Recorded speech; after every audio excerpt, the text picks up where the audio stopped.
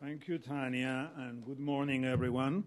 Uh, on behalf of the Ford Foundation, it is my great pleasure and honor, actually, to welcome you to today's symposium, Accounting for Violence, How to Increase Safety and Break Our Failure Resilience, Reliance on Incarceration. The Ford Foundation has been a proud supporter, I have to say, of common justice for several years now, and of the Vera Institute of Justice for many years before that.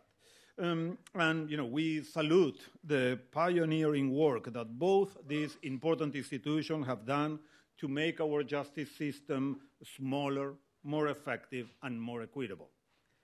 And we are especially pleased and proud to be supporting one aspect of common justice work in particular. Indeed, a most urgent agenda for justice reform in the United States confronting the problems of violence. The urgency is both practical and moral in its dimension.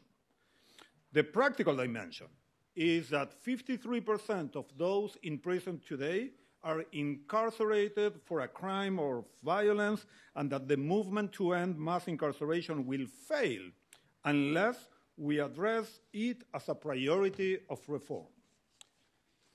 And then there is the moral dimension we must confront. First, that protecting people from, the, from harm as an essential, essential responsibility of uh, any society.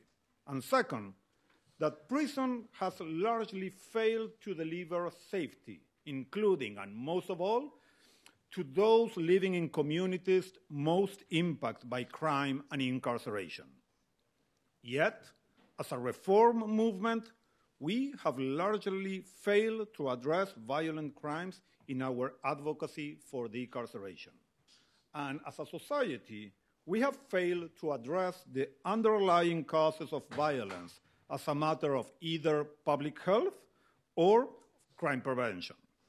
The drivers of violence are, of course, not small challenges. As Danielle's report um, points out, poverty, trauma, shame, isolation, and unhealthy masculinity all lie at the root of violence, as does prison, which too often releases people more broken and degraded than they entered it, homeless, traumatized, and unable to meet their economic needs.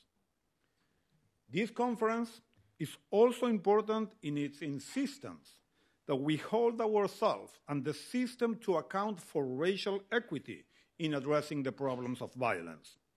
To recognize that the face of crime victimization we see on the news, typically white and female, does not actually reflect the reality of who most often suffer violence in this country. That is to say, faces are black, brown, and male. Finally, today's conference stands as a reminder that our commitment to shrink the criminal justice system must be equally matched by a commitment to displace it with solutions that actually produce safety and healing.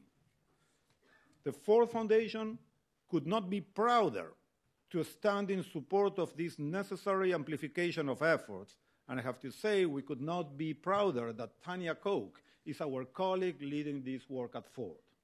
It is my hope then when we look at when we look back at this moment in the history of the movement to end mass incarceration, we, th- we will think of today as the day we forthrightly took up the challenge to embrace safety and healing.